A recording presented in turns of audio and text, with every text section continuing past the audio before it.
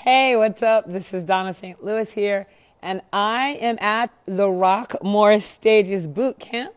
And today is our travel day. And just in case you're wondering, we actually host Rockmore Stages here, not a hotel, in a 13,000 square foot mansion. That's how we roll because part of it is about your mindset. It's not just about getting in a stuffy hotel and being all, uh, you know, it's really about getting out and, and connecting with people and, and being different and, and game changing and authentic and vulnerable and real and, and awesome and connecting with people in a real way. It's all of that. So anyway, I'm here tonight. I'm at the mansion and the mansion is absolutely gorgeous. It is 13,000 square feet. It is 12 unique bedrooms, all with their own private bathroom. And let me show you around for a little bit. And then after I show you around, I'm going to tell you about the time that I bombed my big bomb on stage. And it was, it was not good. It was so not good. And I got my glasses on tonight. So if you have something to say, I'll actually be able to read it. That's not always the case with me. So just take a look behind me. This is our house. So this is our living room area. And as you can see, we already have people here. And we're starting, so today is just a travel day. We actually get into it tomorrow. We just finished up our mastery program and our mastermind for our people who've already graduated and done amazing things. And now we're getting ready to start our boot camp for people who want to get started in the right way. They're maybe they're already speaking, but they want to get it to the next level. We just had we just had dinner. As you can see, it's almost all, almost almost all gone. We had a great dinner. We have a celebrity chef that cooks for us. Her name is Chef Tia. Um, and so we have people here. They're already getting started. Uh, this is where we are tonight right? And that's just a few people. We're still waiting, waiting for people to come in. Today is an amazing travel day, so everybody's trying to get here as quickly as possible. So I'm just gonna walk you around the house. That's our outdoor pool area. One of our many areas. The house is absolutely gorgeous. Um, I've been here since the 15th. I'll be here until the 23rd. After that, I'm heading up to Seattle because um, I just inked a huge deal with Microsoft. So I'll be up in Seattle for a few, for about a week or so. Then I'll be back down and we're talking about some other stuff that I'll be doing with Microsoft. So I'm pretty excited about that. Here, let me show you the game room. So I got to tell you, we spent a lot of time hanging out in the game room playing video games at night.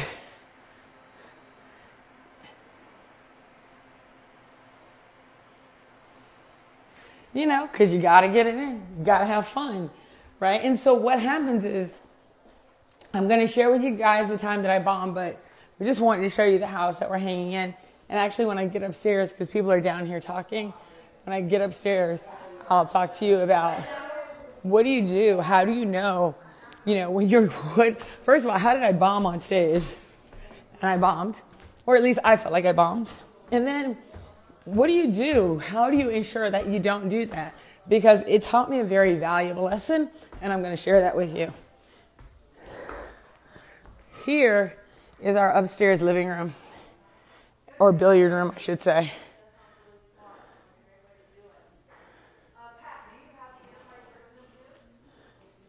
And then we have a wing over there that has several rooms. I think there's eight or nine rooms over there.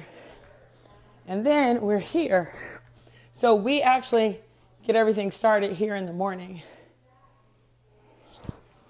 in our media room.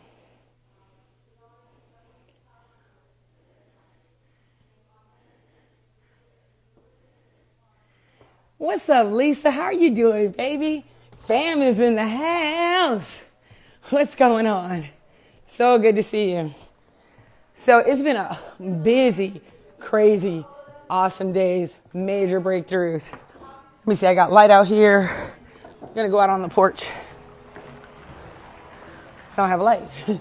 Let me turn on the lights. There we go. All right. So check this out. Overlooking the pool.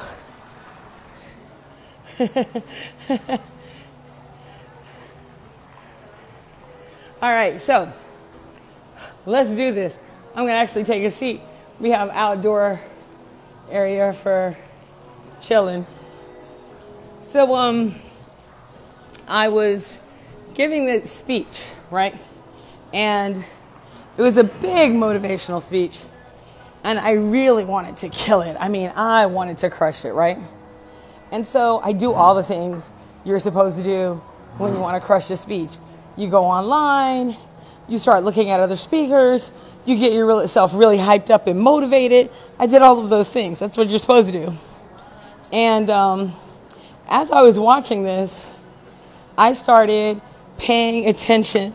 Hey, Rudy, Rudy's in the house. Um, I started paying attention to like Tony Robbins and how he delivers, you know, and that big power and that big voice and that big presence, you know, and, and I just kept watching like Eric Thomas and Les Brown. And so I'm watching these big power motivational speakers, you know, these guys that give you that giant motivational hug. And, you know, you feel like, yeah, I can do every anything. And I'm like, yeah, I'm going to do that. I'm going to do a speech just like that. So I go to this conference and I give an amazing speech. And then I get, and I, and by the way, I'm watching them because I don't want to change my whole speech. I just want to nail the last 10 minutes. I want to make the last 10 minutes of this 60 minute speech fire. Fire. And so, so I go there and, um, oh, and I watched some of the, like, I watched the movie Rudy. I watched a couple of other movies that have like these great locker room conversations. And I mean, I'm ready to deliver fire on the platform. And I go on the platform, deliver 50 minutes of just gold. People are clapping, they're laughing, they're, call, they're, they're talking back to me, just the whole thing. Like everything's going great. And then I decide now is the time. I am going to channel my inner Tony Robbins. I am going to bring it. I am going to end with like this big, booming, motivational hug and all this stuff. And, you know, you are unleash your power within because you are great. And let me tell you, at the end of that 10 minutes, not kidding you, the audience was completely quiet. And then after a few seconds, there is this guy all the way in the back corner. Thousand people in the audience. This dude is all the way in the back corner. And he does the worst thing a speaker could ever hear the slow clap. Now, it wasn't one of those slow claps like, oh, a slow clap that's going to have this great crescendo. No, no, no. It was a slow, I feel sorry for her she just did a speech, we should do something kind of clap. And to make matters worse, other people clapped with him, mainly because they felt sorry for him that he was clapping along, alone and not for me. And it was horrible. I tried to disappear into the stage. The worst part was this old lady. I mean, she was like a really old lady she walked up to me and it was like she wanted to be my grandma and make everything okay. And she's like, That's okay, baby. You just started. You'll get better. I was like, Oh my God, I've been doing this for years. Like, it was so embarrassing, right? But it also taught me a great lesson. And I know you're going to say, Oh, Dawnna, the lessons in authenticity. No, because I authentically thought that I was a big motivational hug type speaker. Sorry about that, guys. I honestly thought that's what I was. I thought I was this big motivational hug type of speaker. And this is what I learned. And this is something that we talked about during the week here at the mansion with, with High Profit Zone family members is that there's two types, two styles of speaking that are really on the opposite end of the border, right? you have your intrinsic, and I'm talking about motivational keynote speeches. You have your intrinsic motivational speech, and you have your, on the other side, your extrinsic motivational speaker. So you have your intrinsic and your extrinsic. And so the difference is this an extrinsic motivational speaker, the one all the way on the, you know, if the pendulum goes like this, the one on this side, the extrinsic motivational speaker is the, the speaker who gives you the big external cheerleading motivational hug. They'll say things like, You can do it. All you have to do is believe in yourself. You're amazing. You can knock it out the park every day, twice on Sunday, right? They say words like that, right? And they're like, Yes, and yes, you can, and keep hope alive, and, you know, just all the things that make you feel good. You feel so good. You leave there like amazing feeling, like you can do anything. I am not that speaker. I am an intrinsic motivational speaker. So I am the opposite. I am your inner, quote unquote, not even cheerleader. It's more of the person that goes, Of course you can. No shit. In fact, what I'm really wondering is how you're not doing it right now. You're already a badass. You already have this amazing future is waiting for you to get off your lazy ass and get there. Like you want all this, this, and this, but then you don't want to do that, that, and that. So if you don't really want this because you're not willing to do that, it's not about being fearless, it's about having courage. So I am more provoking your inner power and telling you to reach inside and use it. I'm not giving you the external motivational hug. I'm more like giving you the external motivational ass kicking, right? But you have to know which one you are. Because if you get and, and and you could be like somewhere on the pendulum. You might not be all the way over here or all the way over here. But when you know who you are you won't make the mistake of watching the wrong people or or getting formulas from people and trying to duplicate their style that it's not really you. And I had to, I mean, I really had to learn that about me. I had to learn that about my style. And so that's the same thing for you. Which style are you? Are you the big motivational hug or are you let me put your my boot to your ass and let you know that you need to do like there is no excuse for you not to be successful. Know which one you are. I'm definitely the provocateur. I'm definitely more of the ass kicker than the motivational hugger because I the difference is I do believe in you so much that at this point I'm like there are no excuses. Period the end. So yes, that is so me. That is so me all the time, Lisa. I know. I'm working on it. Um, Yes, we had the mansion. I see you wrote, Love the mansion. You're working your magic. Everyone is so pumped and so many already out, world changing. Yes. Let me tell you, we had people that come to this and they leave changed. And I get people who are looking for, you know, they'll say, Well, what's the agenda? And, and what's going to happen? And give me the details. You know what? Quite honestly, it's like going to a Tony Robbins thing and walking out changed, but I'm not giving you the big motivational hug. It, it is like that. You do walk out changed.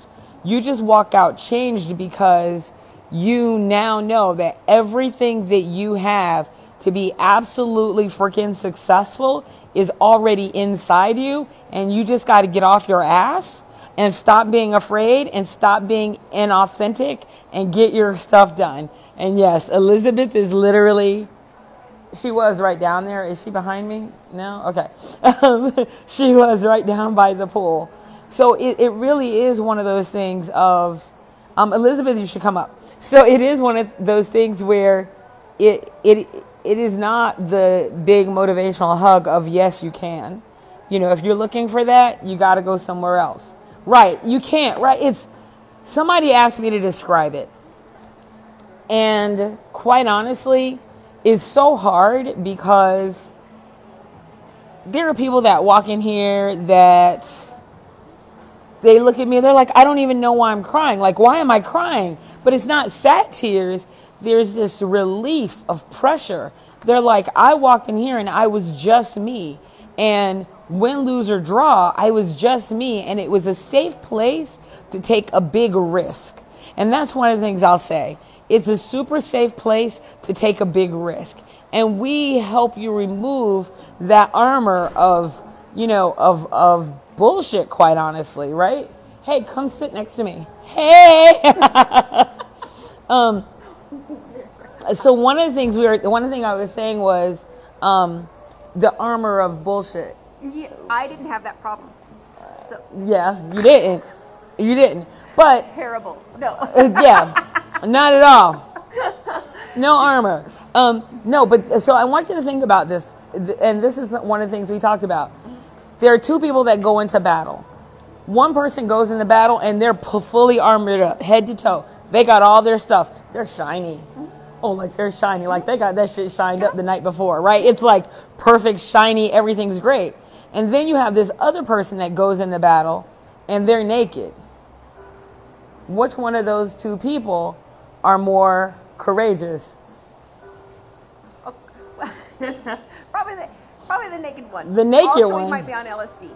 Right, but the, the thing that you said the one night, and I think I post. Oh, no, you're good. You're good. the thing that uh, you said the one night, and I posted on Facebook, was that uh, you have to be vulnerable enough to let us in because we're not here to hurt you. That's right. So you're using a battle analogy, and yet in this, this armor is stopping you from getting what you need. Exactly, because here we make it crystal clear that we you don't need the armor. Is kind of our point.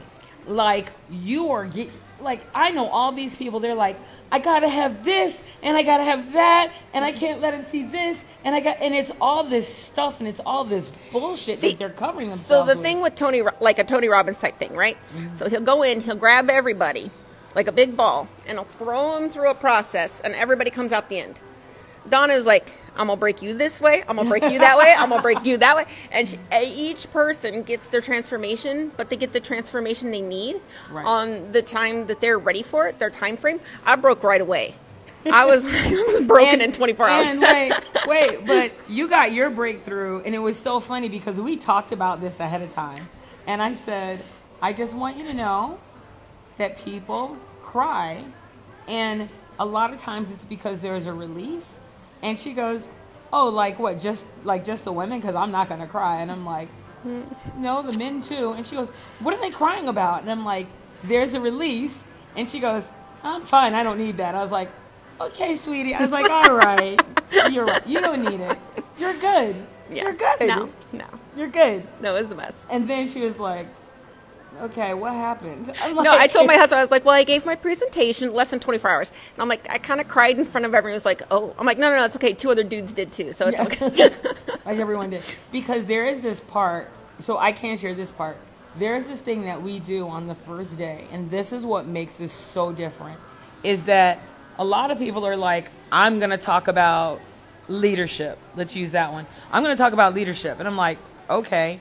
But there's this thing that you do on the very first day, and I go, I don't want you to just tell me that you talk about leadership.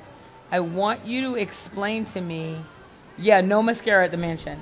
I want you to explain to me why you talk about leadership and why it's so important to you and the personal story from deep inside of you that is your catalyst that made you think that you were the expert to talk about this. And when people, and let me tell you something. Oh my God. When you dig deep, and it's true, and it's true that you're, you, you present your true self, and you've only met these people for 24 hours, less than 24 less than hours. 24 hours. When you present your true self, you're fine. But when you present something that is not 100% like it- vulnerable uh, with vulnerability Mm-hmm. and true, I'm not saying it. What my part wasn't true. I'm just saying uh, there's my story. So let's skip. let's skip over it. Let's skip over it. Let's not talk about it. Let's just keep going. We don't And, have to talk about it. and then she's like, cause and, and she kept going, but it speaks for itself. And I'm like, yeah, yeah, yeah. And she and she was like, yeah, and that speaks for itself, and that speaks for itself, and that speaks for itself. And then it was like, okay, now go back to your bio and you speak for it. And it was like, what? Right? But there were, but there were other people. exactly there was, what I needed. No, right. And there was another guy who got up and he pontificated, and the whole audience was And like, the same thing. Like, back up. they were like, back up, bruh. We're going to need you to do that right. And so here's the thing about it. And this is what I explain.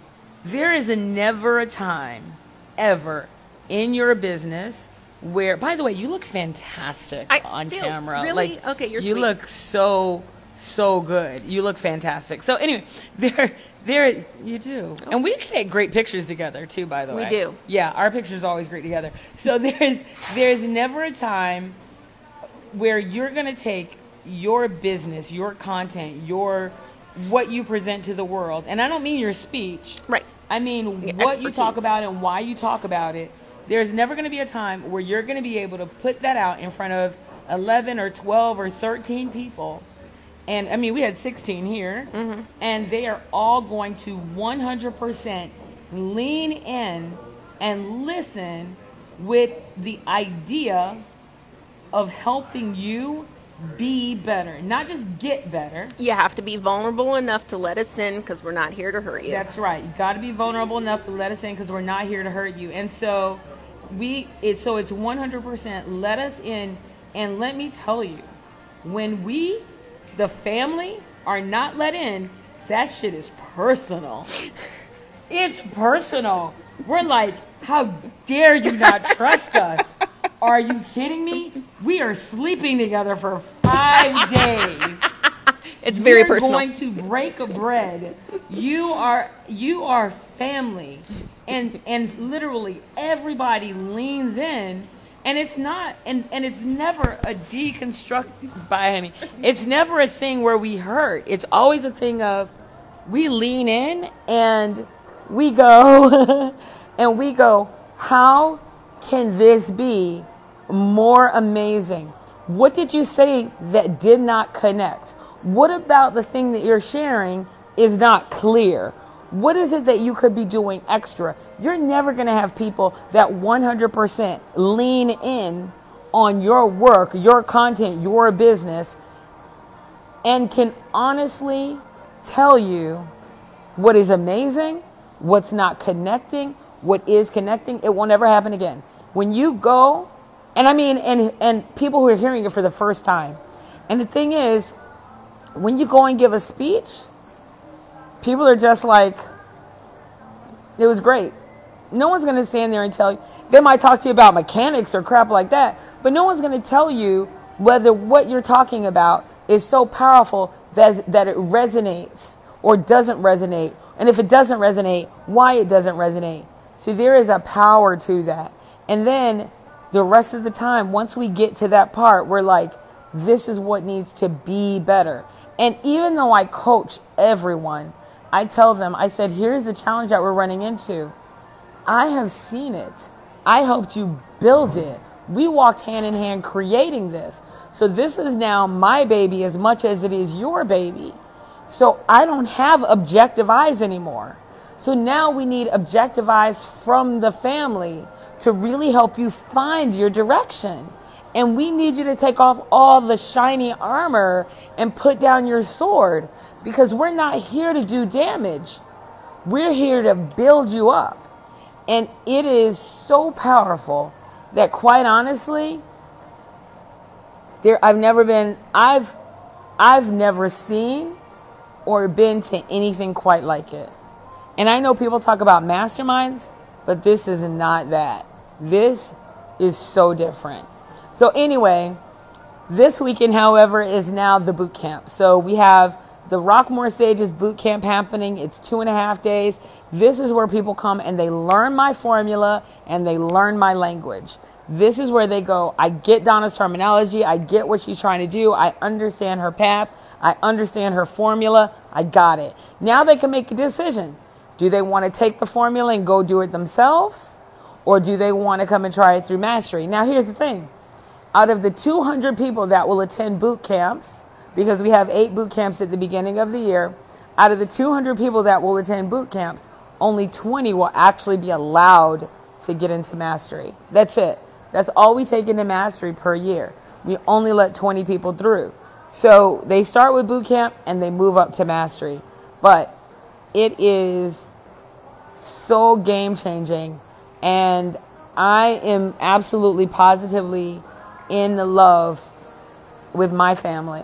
And I am so proud of, first of all, I'm proud of everything they do because, and I don't mean that lightly, I mean because they've really worked their ass off. The bar is set super high, it is set extremely high. And my expectation is they're going to annihilate that bar every time.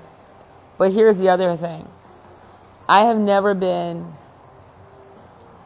so amazed or so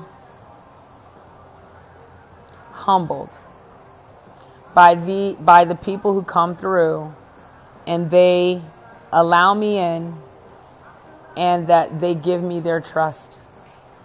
And I take that responsibility. So it's such a great responsibility but I appreciate it more than they can imagine that they trust me. Anyway that's all I got for you guys hey I'll try to do some more behind the scenes maybe give you a sneak peek into some of the stuff we do here at Rockmore Stages. We're going to be in the auditorium tomorrow morning at 9 Eastern. That's when we're going to start. And, um, and, uh, and then we're going to be going all day. So it's going to be a full two and a half days. But anyway, hey, if you guys are interested in learning more about Rockmore Stages, the next Rockmore Stages retreat happens um, February 21st, 22nd, 23rd if if if if if you get in before December 15th, you will get in before prices go up because the rates are going up. Um, and if you're running around the, about the rates, off-site where you're staying in a hotel, you're just, you're hanging out the mansion all day, which is fine. But you stay at a hotel because we only have we have 12 rooms here, so not everyone can stay here. Um, off-site is two thousand dollars. To stay on-site, you do have I, we do have to have a conversation, and to stay on-site is twenty five hundred dollars. But it is going to go up to 2500 and 3000 or 3000 and 4000 i'll have to check. But anyway if you're interested in staying at the mansion or if you're interested in coming to rockmore stages just go to rockmorestages.com i haven't even updated it with the new um, dates yet so if you're interested you gotta let me know. Period the end. I'll talk to you later. Have a fantastic one